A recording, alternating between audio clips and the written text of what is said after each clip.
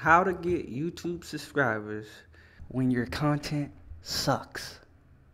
First of all, let's all acknowledge that your content sucks. Even my content sucks. It's been sucking for over five months, but you know what? I'm still getting subscribers. So, how do you do that? Well, you're gonna have to spend a little bit of money.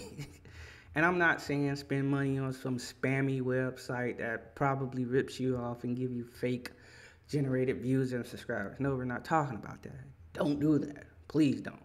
What I'm talking about is paying money to have YouTube promote your video or your channel.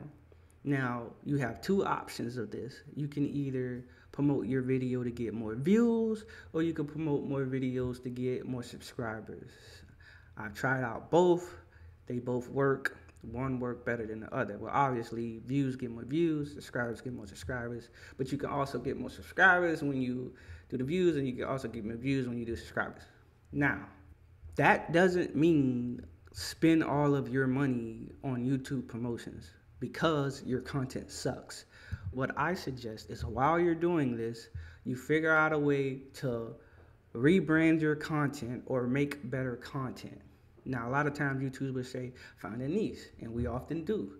But how well versed are you in that niche? The biggest problems with niches is when people go into them, they kind of think they want to go into it, but they don't know what they're really getting into it. So, what can you do while you're using this YouTube promotion? My best advice to you is to start working on your content and possibly changing your niche. Now, sometimes our niches are too wide or too narrow, or we just don't know enough about the topic to talk about it. I suggest while you do do this YouTube promotion, if you do start getting one, two, three, four thousand followers, try rebranding it. Do not, and I repeat, I repeat, do not start a new YouTube video channel. Don't start another channel. Gaining a thousand subscribers can still be positive even if you do change your niche. Now, if you had like a million subscribers, then okay, yeah.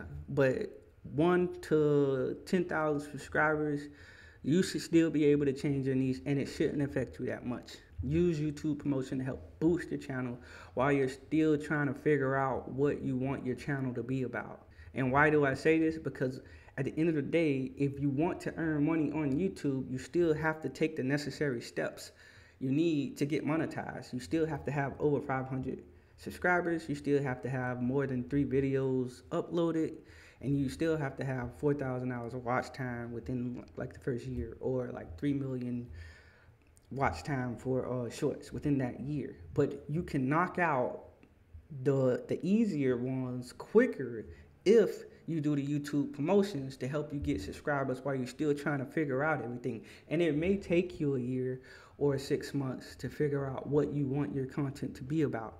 And don't worry about going viral or whatnot. What you need to worry about is returning viewers because that's what you want to have that 4,000 hour watch time and have them watch it for a long time. So while your content is sucking, use the YouTube promotion to help start building on your platform and get you where you need to be. Until next time, I'll see you soon. Why is there a sock on my microphone? Let's just say I need another mic.